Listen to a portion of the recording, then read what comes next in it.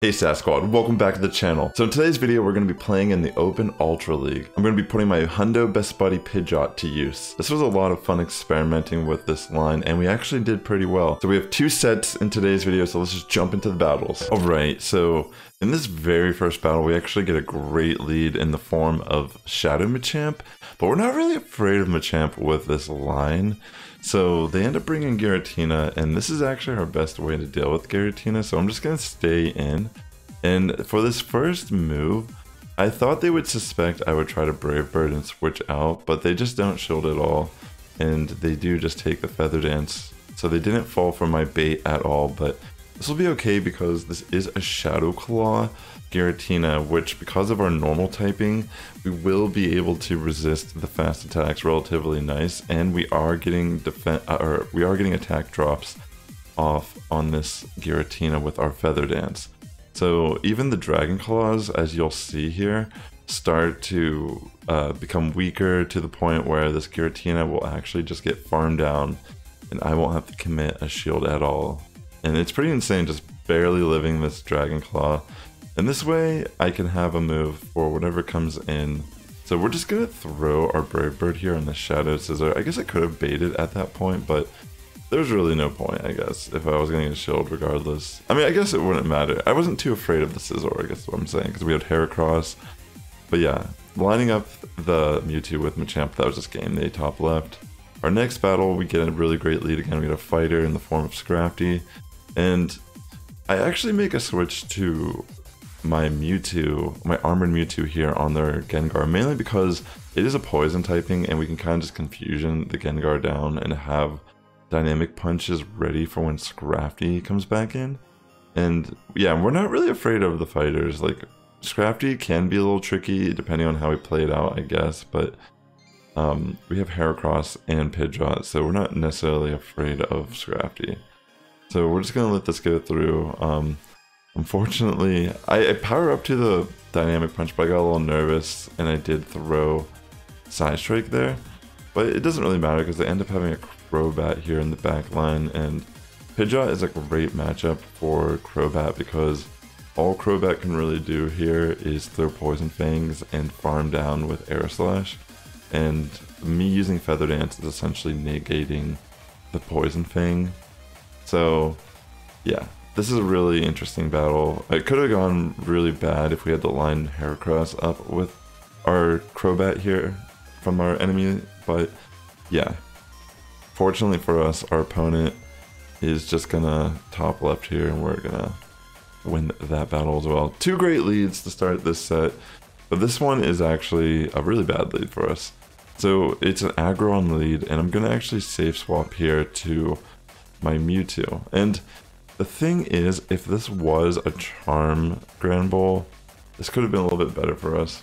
But this is, in fact, a Snarl, so they will be able to get to their crunch relatively fast, which is a little bit scary for us, but we kind of just have to play it out. I know I can take at least one crunch, so I'm going to let one of them slip on through. We're going to try to like get shields here at least. And okay, we get the shields. So now that we kind of know this is a Snarl variant, we could actually bring in our Heracross in on the Granbull. So that's pretty much what we're going to do here. But this is a little bad because we don't really know what they have in the back line, and we kind of need Heracross to deal with Aggron. I know I can take a close combat, so I just let it go through, and they end up having Togekiss, and this is kind of bad because even though I can get these Rock Blast off, we aren't going to be... It's just not great for us because we were going to either get farmed down there and Pidgeot can't really do anything to Aggron, so I'm just going to try to weaken Aggron's attack so I don't get just completely smacked down with my Heracross. And I'm going to shield, but the thing is, the Aggron has so much energy just from farming down on Pidgeot. And yeah, I pretty much I don't even think a Rock Blast would have been able to knock out Aggron there. I tried to farm down, and maybe... I don't even know if one more Rock Blast would have knocked out Togekiss. I think it would have needed a little bit of farm down also, so GG there. Um, in our next battle, we get a Greedent lead, and I will stay in for a little bit to see. I know I can tank a Body Slam, But this will rack up really fast because Greedent is a very much uh, spammy Pokemon with Bullet Seed and Body Slam in its arsenal. So I decided to just go for straight Brave Bird here, maybe thinking maybe they won't shield. And that's pretty much what happens. So I'm going to try to bring in Heracross for the farm down. And we were able to actually farm it down before they can switch out, it seemed.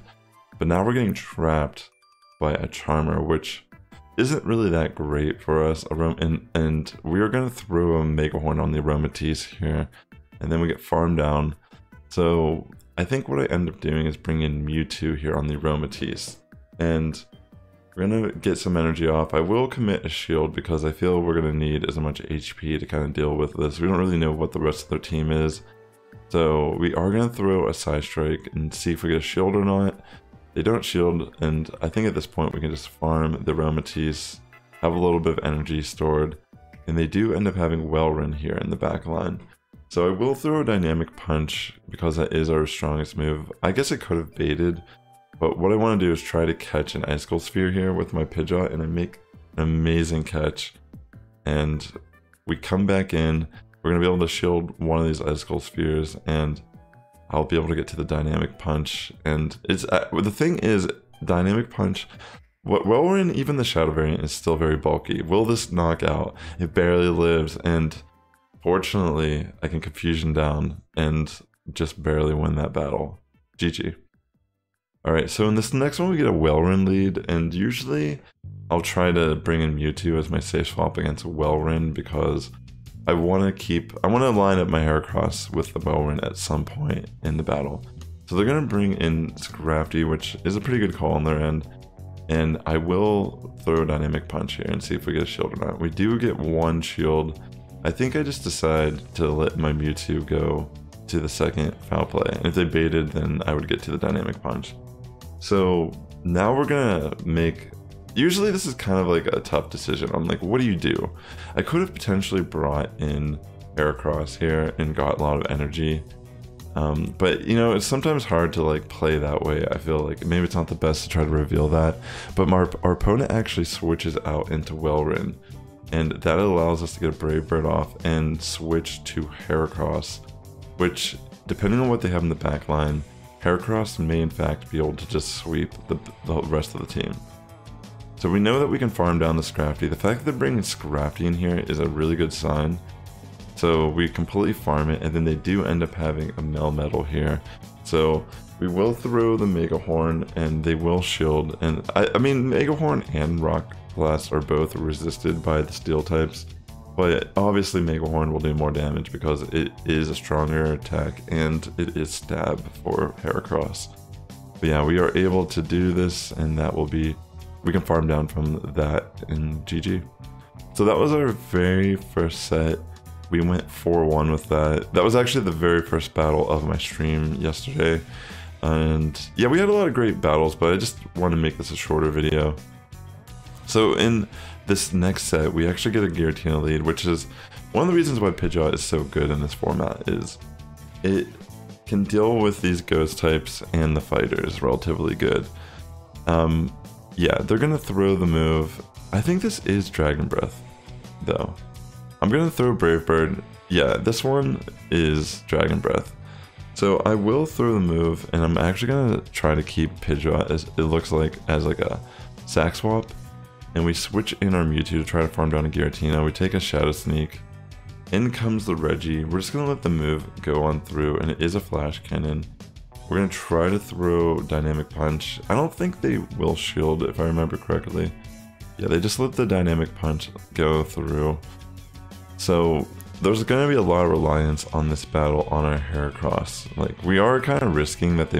Uh, there are a lot of Charmers in this format, but yeah, we're just to pretty much bring in Heracross and farm down, because we know Giratina is so low that we can actually just farm the Giratina as well. And they end up having a Swampert, which is a really good matchup for Heracross. We are going to throw the Mega Horn.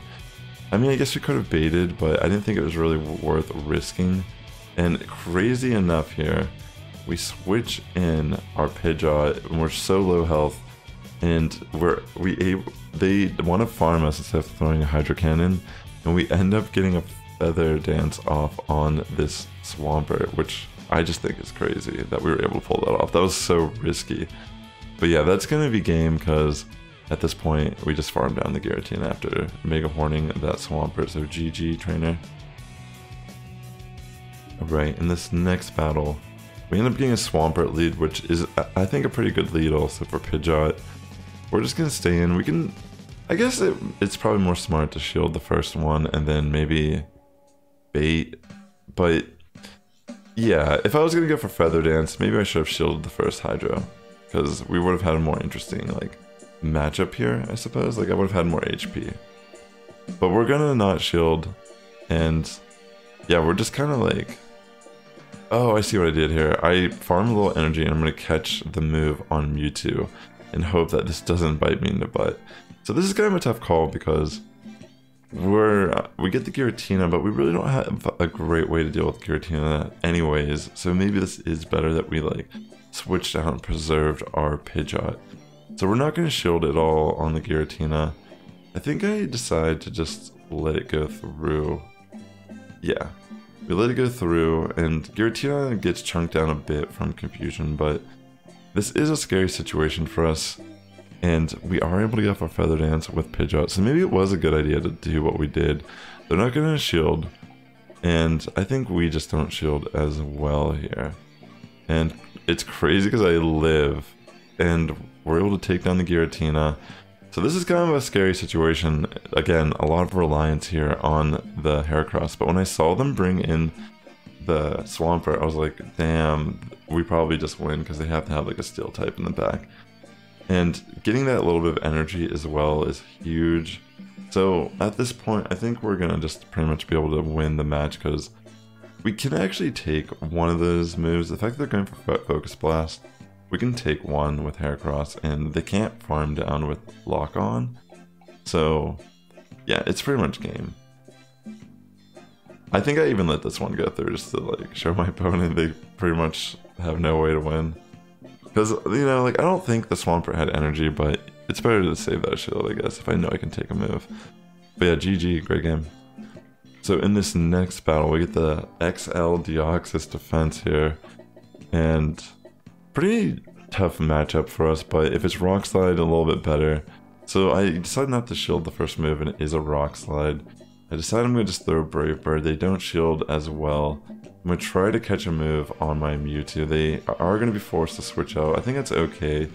Because this is the Shadow Snorlax, I think I could get away going for Psy Strikes instead of like dy uh, Dynamic Punch because they're probably going to want to shield.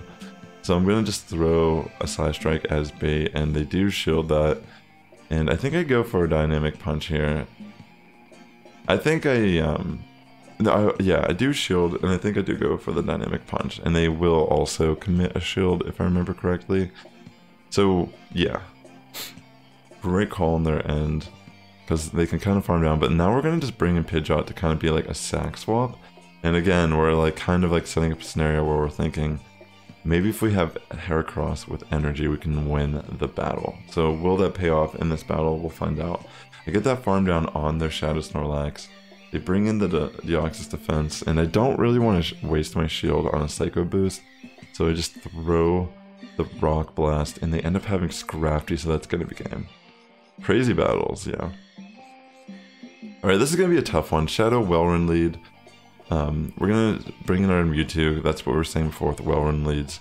But they end up having a Trevenant, and they kind of just like trap us, which this is not really that great for us. Like this is kind of like tough cookie. So we're just gonna try to go off as much damage. I guess we could have tried the shield here. Maybe predicting the Shadow Ball here would have been huge, because probably if we just committed two shields at that point, or predicted the Shadow Balls, we could have farmed down Trevenant and had energy. Yeah, I think that's what I needed to do in this battle, actually. I think taking that Shadow Ball completely threw my any chance of me being able to kind of win the battle. Because here we have to pretty much... In this type of match, when we lose a lead like this and we get like hard countered on the switch, we have to disrupt the switch timers as best as we can. But yeah, it's pretty insane how close this still is because even though this is a Talonflame against a Heracross, our rock moves are going to hit pretty hard. And it's insane like how close this comes. So yeah, it's it was so close still, but yeah, we're not gonna be able to pull off this win. They get off the Icicle Sphere. If I could have somehow like switched out and sacked the Pidgeot and the time the switch timer wasn't in my favor there. And then came back and just got to the Rock Blast barely, that would have been sick, but yeah, and whenever I took that Shadow Ball, that was huge. Oh, by the way, real quick, before we get into this battle, I just wanted to point out this. I noticed this when I was finding these battles, like this trainer's name. Hold on, it's like hilarious what his name is. I'll just take a moment to appreciate the creativity. Nuck Biantic. that, that was great. Alright, so we get ourselves a Snorlax lead. I think this is a pretty decent lead for Pidgeot as well, because we can resist the fast attacks.